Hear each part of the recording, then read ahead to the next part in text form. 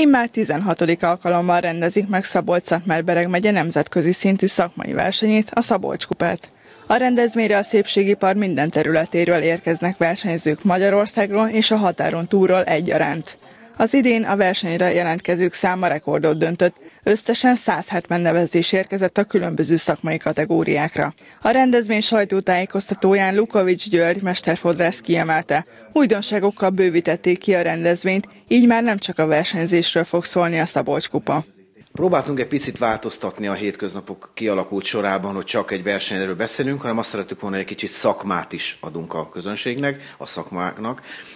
Minden három szakmában lesz workshop, ez azt jelenti, hogy ne legyen bárkinek bármiféle hiánya. Úgy állítottak össze az időpontot, hogy amikor éppen a színpadon fodrász verseny van, akkor a workshopban kozmetika van, vagy éppen köröm. Tehát nem lehet az esetleg, hogy valaki szeretné mind a kettő, hogy részt vegyen, és esetleg nem tud dönteni, tud, mert úgy van összeállítva a workshop. Mindenféleképpen olyat próbáltunk volna létrehozni, hogy a szakmának egy olyan tudást pluszt adjunk, ami nagy nevű szakemberektől tudják majd ezt megtudni. Itt lesz egyébként szasszonhajvágás, lesznek termékbemutatók, praktikák, ötletek, és természetesen lehet kérdezni tőlük, és ez a nagyon jó dolog benne, mert face-to-face, tehát szemtől szembe bármit megkérdezhet, és biztos, hogy választ is kap a kérdésére.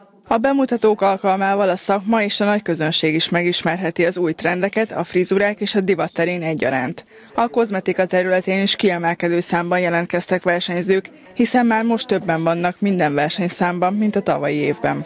Nagyon nagy a lelkesedés különben az első éves nappali smink kategóriában, ugyanis tavaly egy olyan 20 főben limitáltuk a létszámot, ez nagyjából meg is volt, most 25 főben, és lassan elérjük már a 25 főt is. A másodéveseknek, illetve a felnőtteknek alkalmis mint kategória van kiírva.